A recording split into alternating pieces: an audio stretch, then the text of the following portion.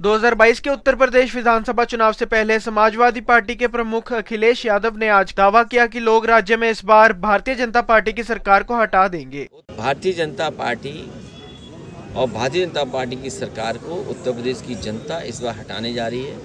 उत्तर प्रदेश में बदलाव होने जा रहा है। उत्तर प्रदेश में भारतीय जनता पार्टी का सफाया होगा क्योंकि किसान नौजवान और व्यापारी और हर वर्ग के लोग इस सरकार से दुखी हैं। ये कानून पहले वापस ले लेने चाहिए थे बीजेपी को।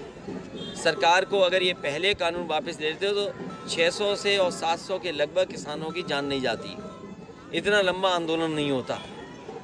भारतीय जनता पार्टी ने सिखों से, किसानों से घबरा करके और जितने भी किसान उस आंदोलन में थे, उनसे घबरा करके और उत्तर प्रदेश का चुनाव, क्योंकि उत्तर प्रदेश के चुनाव का हारने का मतलब है देश का राष्ट्रपति का जाना देश के आगे के समय की राजनीतिक परिस्थितियाँ बदलना इसलिए उत्तर प्रदेश को चुनाव को लेकर के और पंजाब के चुनाव को लेकर के इन्होंने फैसला लिया है। जिन किसानों को इनके लिए वोट महत्वपूर्ण है किसान महत्वपूर्ण नहीं है। अगर किसान महत्वपूर्ण होते तो पहले दिन ही ये कानून वापस हो जाते। 700 के लगभग किसानों की जान नहीं जाती शहीद नहीं होते। समाजवादियों ने तय किया है सरकार बनने पर उन किसानों के परिवारों की 25 लाख से मदद होगी।